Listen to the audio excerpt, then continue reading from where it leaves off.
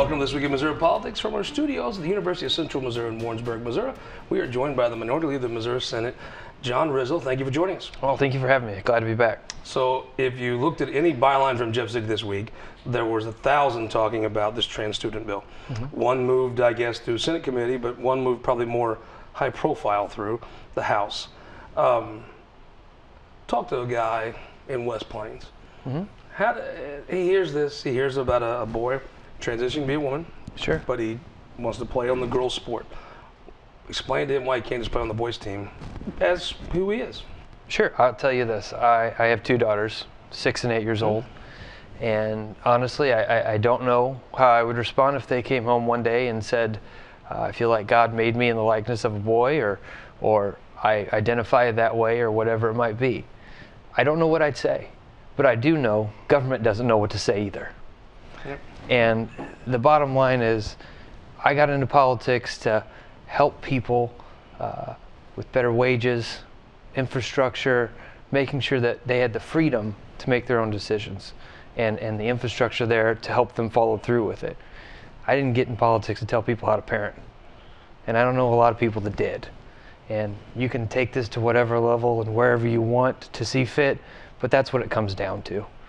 Let me just skip to what it comes down to in the Missouri legislature. Mm-hmm. The House will probably pass multiple bills on this topic. They, they, I think they passed a couple last year. In the Senate, it'll come down to a bill. It looks like Senator Rehder is going to carry the bill as it got muddled in committee. It deals with just trans athletes. Is there a way to find a path to have something that can be voted on without a PQ? Uh, you know, I think that everybody is trying to have conversations, not just on that issue. But look, I know one of those issues always goes Sure. to the table every year. But there's a variety of issues we're trying to work through. This is just one of them. And this might be the most incendiary one that more people hear about than most. But we do try to work through everything. A lot of people that push uh, this infinite standing up and everything else have to understand the limitations with that. Are there things absolutely in the world that, that we have to draw a hard line on? Absolutely, but we're not in the position to be able to have that hard line on every single thing all the time. So let me just ask you again on this issue, which is very sensitive. Mm-hmm. It may affect very few children in the state, but it is uh, is very sensitive to a lot of people. Do you think right now? Do you see a path that you could come to a, a way that this doesn't have to have a PQ? I think hope springs eternal. Let's talk about something else. It seems like it's a bigger push this year is IP reform. Sure. Now, I've seen the Republic. We just had uh, in the next segment, have Senator uh, Pe- or Representative Peggy on, the elections chair, very respected lady, came up with something to raise the threshold to 60 percent, but still, you basically write off North Missouri and Southeast Missouri in the process. Is there an IP reform deal out there?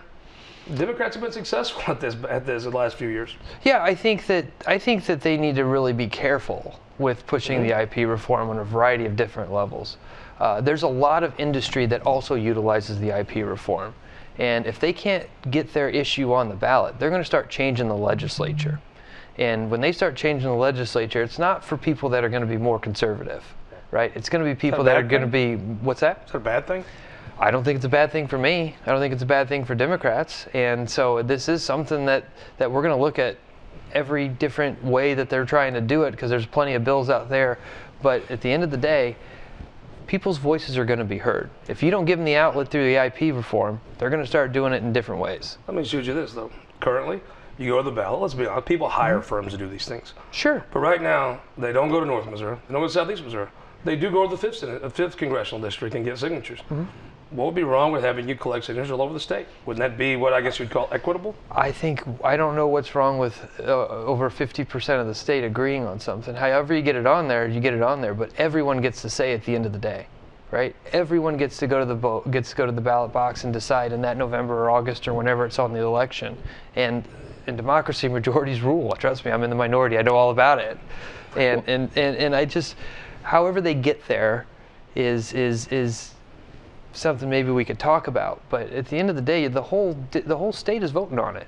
It almost feels like a Goldilocks moment. I mean, um, currently it's, it's relatively easy to get on the ballot.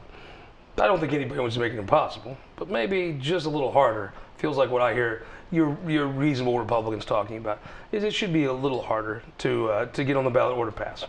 Is a little harder something that can be done? I always wonder why Republicans want to make voting just a little harder. Well, because they've been losing at these things. That's I think right. It's, I think it's the reason. I mean, I mean, look, th- this is exactly right, Scott. I mean, you know the drill. I mean, we don't have medical marijuana. We don't have Sure. recreational marijuana. We don't have a pushback on right to work. We don't have Medicaid Minimum wage, expansion. on down the list. Minimum. I mean, we could do all these things, and unfortunately, for the Republican well, they'd Party, be better off done in the legislature if they take the the money and the effort that was put behind them and elect more center, center, left, Yes. center, right. Would the state be better off overall? yes, I- yes, because you're getting you're, you're getting more open-minded people uh, in the process, not just on one issue, but on a lot of different issues.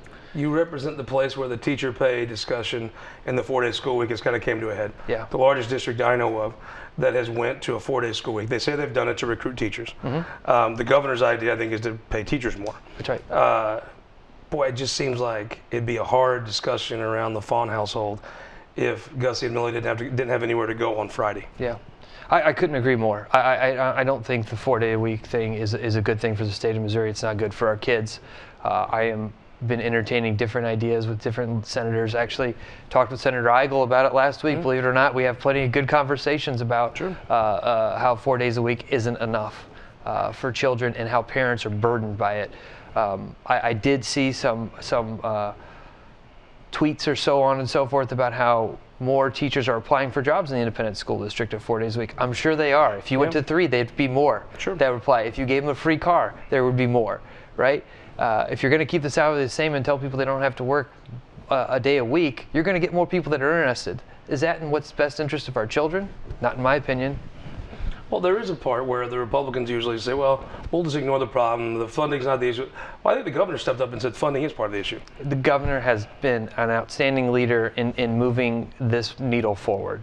Is it as far as we'd like to go as Democrats? Probably not, but it is way better than any proposal we have seen in a very long time, and we are we have been uh, very supportive of his position in getting teachers more say, more you talk to folks in independent schools, if this proposal the governor's is enacted, Mm-hmm. Will they consider? I mean, you could either have someone work less or pay them more, right? Yeah. If he's going to pay them more, would this be enough to have them go to a five-day school week? And I would hope so. I really would. I would hope so. I, I, I- I think that we want to see what happens first, but uh, I would hope that if, and if it wasn't, Scott, we are at a $6 billion surplus. I would rather have the conversation where, where superintendents and school districts would come to the state and explain uh, how they're going to spend their money on teachers and so on and so forth, and we can maybe fund them for a year or two Well, or whatever it is. Uh, Representative McMullen, who's coming on uh, in our next segment, he has a bill that said this should go to the district. You know that district better than anybody. You campaigned all over it. Mm-hmm. Yeah. Would this pass? Uh, would four Well, days a week yeah. pass? No. I, I, I did think so too. No. Uh, I mean, there's a reason why I didn't go to a vote, right? Yeah.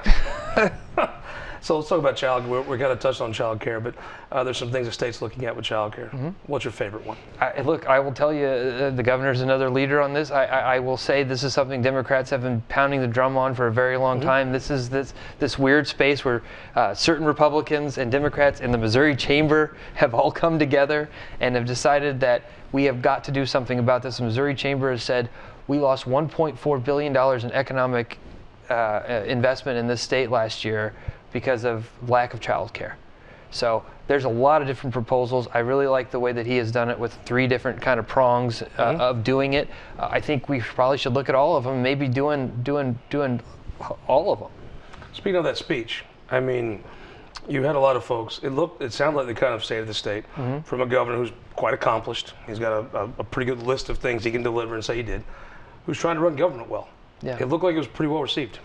I, I look. I haven't gotten a lot of complaints from it. Won't be popular on Facebook, I'm sure, but in real life, it looks like he's trying to run government well. Yeah, I look. I think the toughest thing he's going to have is trying to get it through this Republican legislature, specifically the Republican Senate. Uh, I think that they have different ideas on how government spending should go, but I will tell you, he has been a, a sort of beacon of hope amongst the Republican Party for all of us, and that's. I, I firmly believe that. I know I might not make a lot of people happy on my side by saying that, but at the end of the day, we have been in a desert looking for water for a long time, and this is the first drop of rain. Before we go, uh, what- we have an announcement. Every year we do a Statesman of the Year event. Um, last year it was Senator Roy Blunt. This year it's going to be March the 7th at Farm Bureau in Jeff City.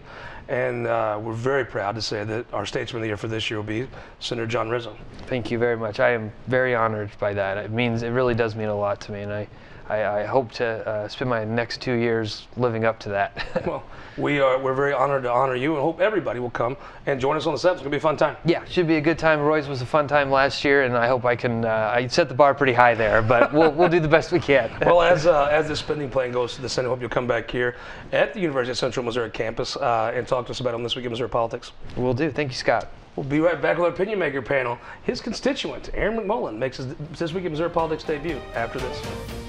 For more than a century, the St. Louis Carpenters Union has shaped our communities. Through trusted alliances, we deliver skilled professional craftspeople while our business partners provide the kind of quality jobs that keep our economy humming. It's a blueprint that has worked since 1882. Turning Missouri into a right to work state stalls progress, wipes out jobs, and kills momentum. Right to work is wrong for everyone. Let's keep Missouri moving forward. Visit carpdc.org to learn more. Data captured by our state-of-the-art monitors helps us pinpoint the timing and location of severe weather more accurately and respond to trouble more quickly. Ameren, Missouri's investment in smart technologies like this is one way we're improving reliability and restoring power faster than ever. Responding to trouble before trouble hits. That's energy at work. Ameren, Missouri. Welcome to This Week in Missouri Politics from our studios, the University of Central Missouri in Warrensburg. We have our opinion maker panel, Representative Roger Reedy from Central Missouri, right? Nice Benton County. Yeah, right. District 57. You're you're really close today. So Ashley Bland Manlove Kansas thank you back. Thank you for joining us again. My pleasure, You're friend. like friend of the show at this point status, I believe, right? Yeah, I Cut think your so. card before you leave. uh, Aaron Mullen, first time on the show from Independence, Harry Truman Country. Thank you for joining us. Uh, thank you for having me. Are y'all still keeping Victor Callahan online? Oh yeah, day to day we have to check job? on him. Yep. and the Queen of Carroll County, uh, Representative Peggy McGaugh. Thank you for joining us. Uh, let's just start in. You literally came to the studio after you passed a bill that's going to be heard on the floor. Talk about initiative petition process. We've talked about this many, many times on the show. It feels like it's never had more support. The bill that you put out of committee, what's it say? Well, again, thanks for having me. And yes, sizzle, hot off the press. we passed it in the committee this afternoon, actually the forenoon, and boil it all out. You know, we need to be equitable in the state of how initiative petitions are presented and passed. So the only change today for HJR 43 is going to raise the threshold of passage to 60 percent rather than the current simple majority. Okay. Now, is there a difference in a statutorial and put them in the Constitution? Yes.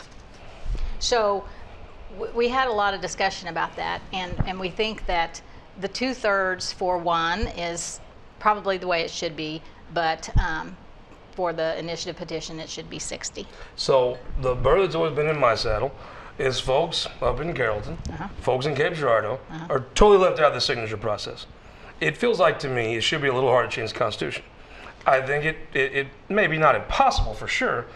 Right now, are they going to be able to ignore all of Sam Graves' constituents and all of Jason Smith's constituents? Well, unfortunately, the way we've um, concessioned on this is possibly still. But what we added was the terminology voters in each congressional district shall have the opportunity to review and comment upon all initiative petitions proposing amendments, blah, blah, blah. And the Secretary of State will be the one to uh, review, comment, bring it to those uh, areas up north and south. Uh, uh, you're one person that speaks their mind. Uh, you're certainly not a Democrat. say this. I agree. Tell me what would be wrong with something that affects the entire state, like the Constitution, making you get signatures in every congressional district. I have a feeling if they were leaving out the fifth district every single time, you might have a beef with it. Well, I, um, you know, I've, I've actually been in quite a unique predicament because a lot, um, well, the uh, last two initiative, initiative petitions that have been presented, I was actually against, but I fiercely protect the process. Sure. Um, so, um, sure, signatures should be. I mean, that sounds fair, but my uh, my thoughts actually drift toward the people And um, since there has been a lack of civics classes in our schools for about 20, 30 years now, because I'm 30, so about 20, 30 years now, um, people don't know how to research it. So I think that it should be accessible to everyone, um, but I think that we need to teach our, we need to teach each other how to do it, and it, that that would give us a better product. Now, Representative Reedy, I tend to think that they exclude North Missouri and Southeast Missouri because, you know, folks in St. Louis, Kansas City might be a little easier to sign a government form and tell them their address. You got an old boy in Centerville, Missouri, and say you got something with a state seal on it, and you want to know where he lives.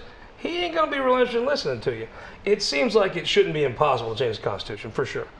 Seems like the whole state should be in on it, shouldn't they? I, I believe so. I think is, uh, you know, in our state, um, we have the rural and we have the urban areas, and we need each other.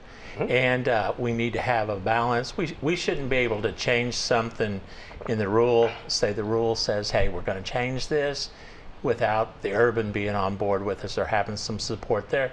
And likewise, they shouldn't be able to change something without having some of the rural folks on board. So I think we need that balance. Aaron McMullen, um, you're in the fifth congressional district. Yes. Folks always come get signatures there, right? Yeah, And absolutely. also, it's a little easier because outside the Hy-Vee, you have hundreds of people come through every day. Mm-hmm. You go to Dollar General in Culin, Missouri, there might not be that many people to get signatures from, right? But um, IP, it feels like just just in my white trash intuition, it feels like somewhere it should be a little harder, but not impossible.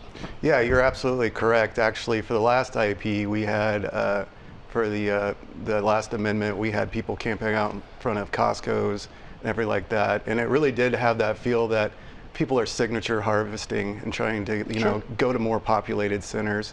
So you know, ultimately, in the end, our uh, constitution should be like a foundation of a house, rarely messed with and um, solid, and you know, um, just basic.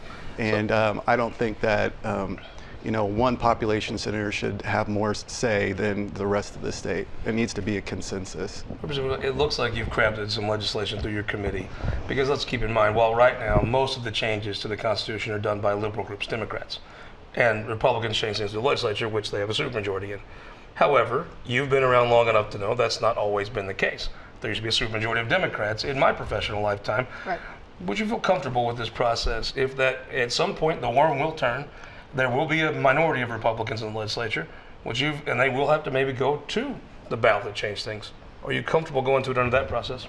Yes, I am, and I appreciate you asking me that. I think that, again, grassroots efforts should not be squelched. So we want to make sure that the people that do have an honest reason to change the Constitution are still able to do so, and the multi gazillionaires from out of state maybe won't be driving this process. Another thing that I didn't bring up is this new language adds only citizens of the United States of America who are residents of the state and who are properly registered to vote shall be considered legal voters. We have we have to put that in place now for what might be in the future. You would never know there was an IP bill moving through because this uh, this week in the House there was a hearing about uh, transgender athletes. Yeah. And currently in the state, um, I guess there's no law that governs it. Uh, if you're, that's what you would call a biological male, and you're transitioning, uh, there's a path for you to play in the girls' side of the sports. Now, I watch passionate people. It, it kind of moves you to see that many folks come to Jeff City at two in the morning and tell their story. And if you're not at least heartened by them, I think you have a hard heart. However, I would say, vast. Doug Beck said 80% of his constituents in South County would probably think that's a good law. Explain that to somebody in Stone County why they should either not pass this bill or wait. the the the the trans uh, the the bills that uh, that ban uh, trans students from playing sports. I mean, just just like like we've said in the hearing several times. 50 years ago, they said I couldn't play sports either, and a lot of you, a lot of a lot of that constituency isn't of English blood specifically. So a lot of times they were told that they couldn't participate in one way or another in recent history.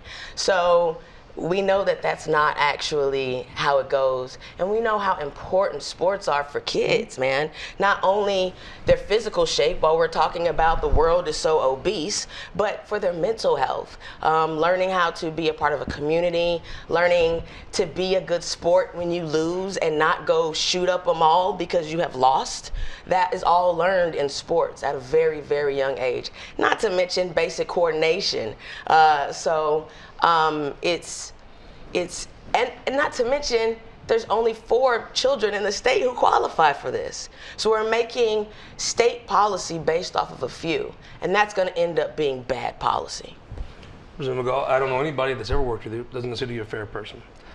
I have I have heard I, I get around this state quite a bit. Matter of fact, one of my favorite days this summer is and Gussie come up to a ethanol plant. Uh, I'd probably buy more beers in more counties than anybody in the state if you totaled it up. The fact is, I do hear people talk about this. Republican voters. I did watch many Republican candidates promise they would pass this. I've watched the Republican Party also gain votes off homophobia in the past. I think it's not unfair to, to question the motives of folks on this, but you could make a logical case, it feels like, that this that that right now a trans student shouldn't play on the girls' sports side. Well, first of all, I'm not homophobic, and I know you didn't call me that. Mm-hmm. However, he- on my drive down here, here's here's my story, and and you know these people. I have three precious granddaughters. Their mother was a all-American softball player on this very campus. Oh, So her daughters, my son's children, are very athletic. And they will hopefully get the chance to play and be as successful as she was in her career with being able to participate with people that are not stronger, bigger, and uh, of the transgender that we are talking about. I have great respect for uh, the representative and know that there are very few that this will affect, and probably it won't affect Carroll County, Livingston County, or Linn County that I now participate, or I, uh, what's the word? Represent. But I, I, I want to think back to my own family and my own granddaughters, and I want to keep them safe. I love your perspective on this, Aaron. You represent one of the few swing districts in the state. Yeah. You have close to as many Democrats as Republicans, and it's a changing area. Um, but I'd be surprised if you didn't have a few people talk to you about this.